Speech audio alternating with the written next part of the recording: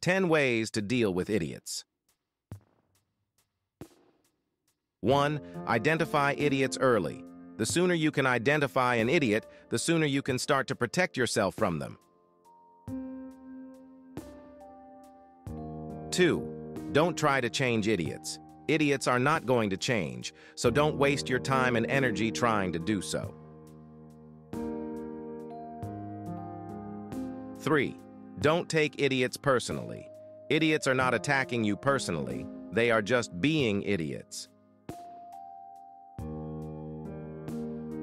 4. Set boundaries with idiots. Don't let idiots into your life if you don't have to.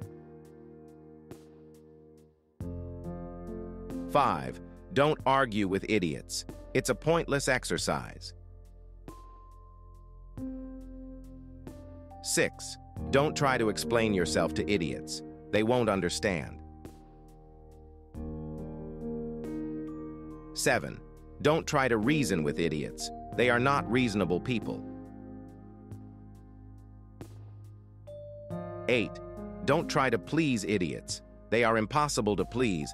Don't let idiots ruin your day. They are not worth it. 9. Don't become an idiot yourself. It's easy to do, but it's important to remember that there is no excuse for bad behavior. 10. Learn to laugh at idiots. It's the best way to cope with them.